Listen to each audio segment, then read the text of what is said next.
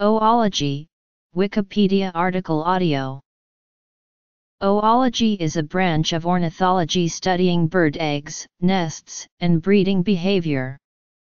The word is derived from the Greek oion, meaning egg. Oology can also refer to the hobby of collecting wild birds' eggs, sometimes called egg collecting, bird nesting, or egging, which is now illegal in many jurisdictions. History As a science As a hobby As a crime Collecting Methods Major research collections Oologists and egg collectors Oology-related publications Oology became increasingly popular in Britain and the United States during the 1800s. Observing birds from afar was difficult because high-quality binoculars were not readily available. Thus it was often more practical to shoot the birds, or collect their eggs. While the collection of the eggs of wild birds by amateurs was considered a respectable scientific pursuit in the 19th century and early 20th century, from the mid-20th century onwards it was increasingly regarded as being a hobby rather than a scientific discipline. In the 1960s, the naturalist Derek Ratcliffe compared peregrine falcon eggs from historical collections with more recent eggshell samples, and was able to demonstrate a decline in shell thickness. This was found to cause the link between the use by farmers of pesticides such as DDT and dieldrin, and the decline of British populations of birds of prey. Egg collecting was still popular in the early 20th century, even as its scientific value became less prominent.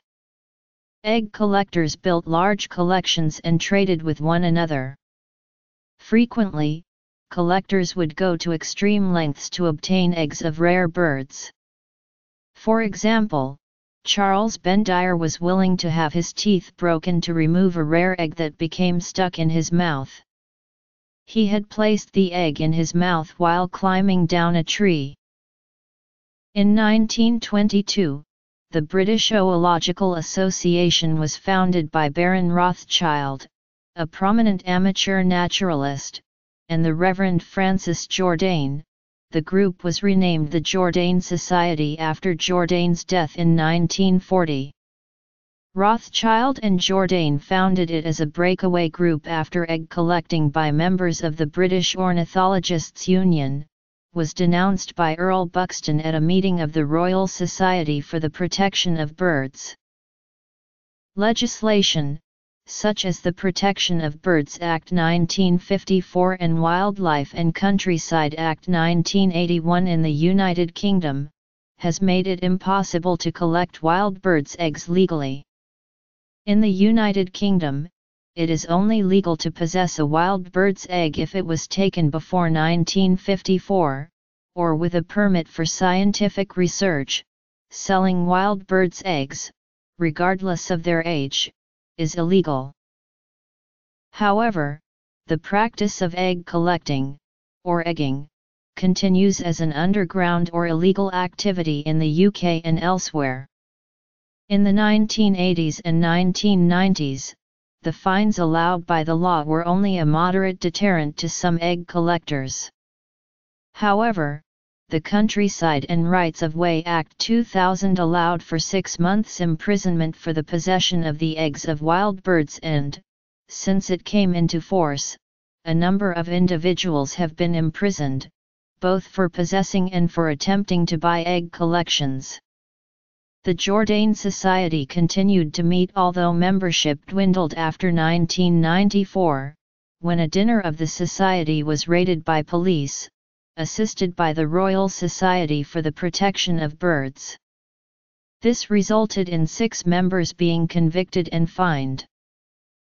Despite this, some of those who engage in egg collecting show considerable recidivism in their activity. 1. Colin Watson, was convicted six times before he fell to his death in 2006, while attempting to climb to a nest high up in a tree.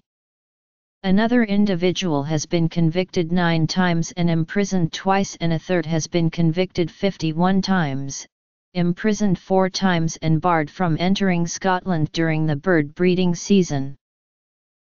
The Royal Society for the Protection of Birds has been particularly active in fighting illegal egg collection and maintains an investigative unit that collects intelligence on egg collectors and assists police in mounting prosecutions on them, in addition to investigating other wildlife crimes.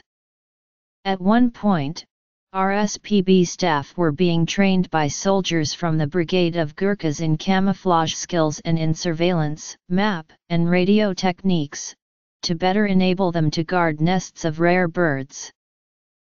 In the United Kingdom, to avoid the possibility of prosecution, owners of old egg collections must retain sufficient proof to show, on the balance of probabilities, that the eggs predate 1954. However owners of genuinely old collections are unlikely to face prosecution as experienced investigators and prosecutors are able to distinguish them from recently collected eggs. It is illegal to sell a collection, regardless of the egg's age, so old collections may only be disposed of by giving the eggs away or by destroying them. Museums are reluctant to accept donations of collections without reliable collection data that gives them scientific value. In the United States, the collection and possession of wild bird eggs is also restricted, and in some cases is a criminal act. Depending on the species, the Migratory Bird Treaty Act, the Lacey Act, the Endangered Species Act, or other laws may apply. When collecting eggs, normally the whole clutch of eggs is taken. Because eggs will rot if the contents are left inside, they must be blown to remove the contents. Although collectors will take eggs at all stages of incubation, freshly laid eggs are much easier to blow, usually through a small, inconspicuous hole drilled with a specialized drill through the side of the eggshell. Egg blowing is also done with domestic birds' eggs for the hobby of egg decorating. Numerous books, and at one point a journal, have been published on egg collecting and identification. Thomas Mayo Brewer, an American ornithologist, wrote most of the biographical sketches in the history of North American birds by Baird, Brewer, and Ridgway. He has been called the father of American oology. He wrote North American Oology which was partially published in 1857, William Chapman Hewitson, Illustrations of Eggs of British Birds. Archibald James Campbell, Nests and Eggs of Australian Birds, Embracing Papers on Oology of Australian Birds, read before the Field Naturalists Club of Victoria, supplemented by other notes and and memoranda, also, an appendix of several outs, nesting, shooting etc., Oliver Davie, Nests and Eggs of North American Birds. Alfred Newton, Dictionary of Birds. Morris, Francis Orpen. A Natural History of the Nests and Eggs of British Birds.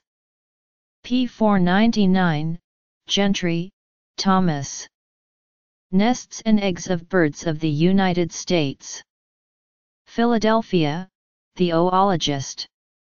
Retrieved 2015-06-21, an 2007 episode of Midsomer Murders Birds of Prey surrounds illegal oology.